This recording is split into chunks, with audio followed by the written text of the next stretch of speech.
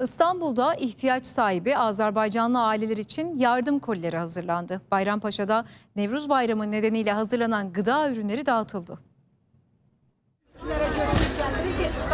Koliler yapıldı, ailelere dağıtıldı.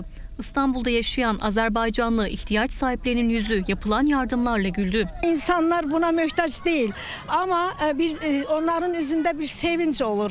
Dünyanın her yerinde indi kriz var ama bizim milletimiz onu burada hissetmedi. Bayram günü biz onların evlerini e, bir hediyelerimizle sevindiriyoruz. Yardım kolileri ilk salgın zamanında dağıtıldı.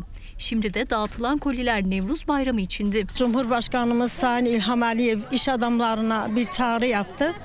İnsanlarımıza, gurbette olan insanlarımıza iş adamları yardım etsin diye. Bizim de iş adamı Anar Aliyev bu çağrıya koşuldu.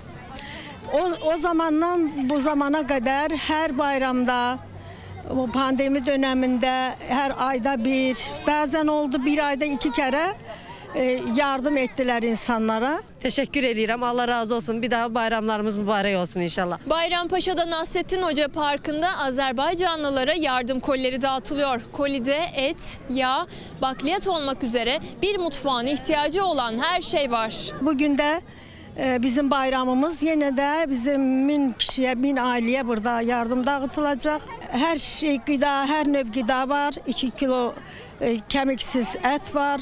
E, bir mutfak için ne lazımsa hepsi var. Bize o yardım veren e, Anar Alizade'ye ve e, bu işte eli olan Şergi Hanım'a hocamıza çok teşekkür ediyorum. Buradan Azerbaycan milletini Novruz Bayramı'nda da tebrik ediyorum. Bu çaba mutfaklarda tencereler kaynasın diye gösterildi.